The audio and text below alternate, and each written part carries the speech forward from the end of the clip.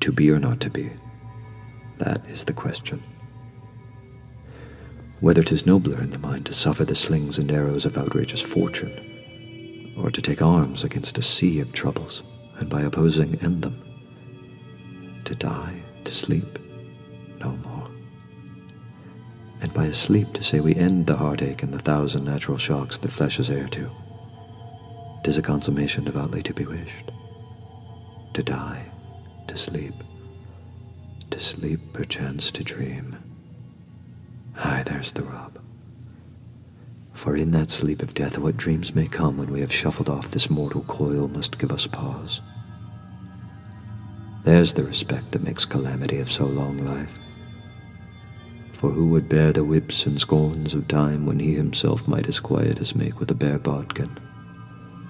Who would fardels bear to grunt and sweat under a weary life, but that the dread of something after death, the undiscovered country from whose bourne no traveller returns, puzzles the will, and makes us rather bear those ills we have than fly to others we know not of. Thus conscience does make cowards of us all, and thus the native hue of resolution is sicklied o'er with the pale cast of thought, and enterprises of great pitch and moment with this regard their currents turn awry and lose the name of action.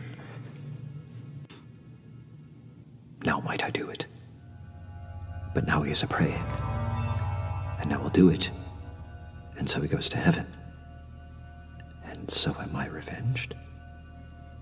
No, not so.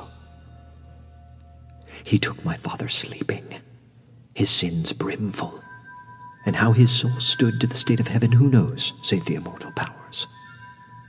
No. When he is drunk, asleep, or in his rage, or in incestuous pleasure of his bed, at game of swearing, or about some act that has no relish of salvation in't, then trip him that his heels may kick at heaven and that his soul may be as damned and black as hell whereto it goes. My mother stays.